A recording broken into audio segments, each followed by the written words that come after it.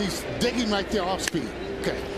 Fly ball to center field. Going back is Davis. He misread it. It's over his head. A ground rule double. Gload scores. Ruiz will stop at third. And the Phillies retake the lead. An RBI ground rule double for Jimmy Rollins. Boy, that's good hitting and, and base running, though. Carlos Ruiz read that ball all the way. Ball stayed in. He was going to be able to score himself. Take a look at it. He double clutches on that off-speed pitch. But look where it is. It's high in the zone. Didn't overswing on it. He drives that ball as it cuts just away from him.